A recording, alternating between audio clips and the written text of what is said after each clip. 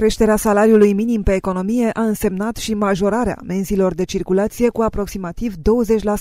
Potrivit legii, valoarea unui punct de amendă este calculată în funcție de salariul minim, respectiv 10% din valoarea acestuia. De la 105 lei cât a fost până în ultima zi a lunii aprilie, punctul de amendă a crescut la 125 de lei. Având în vedere faptul că un punct amendă reprezintă 10% din salariul minim pe economie, începând cu data de 1 mai a anului curent, un punct amendă s-a majorat de la 105 lei la 125.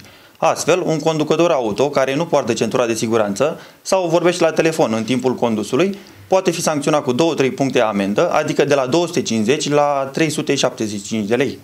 În anumite situații, cum ar fi depășirea vitezei maxime admise cu 41-50 de km la oră sau conducerea unui autoturism care are montată doar una dintre plăcuțele cu numărul de înmatriculare, sancțiunile de 9-20 de puncte amendă sunt completate și de 6 puncte de penalizare. Și șoferii care conduc sub influența băuturilor alcoolice sau care depășesc cu mai mult de 50 de km pe oră limita legală de viteză riscă atât primirea amenzii cât și suspendarea permisului pentru 90 de zile. De aplicarea sancțiunilor se ocupă polițiștii de la circulație sau cei de la frontieră, după caz.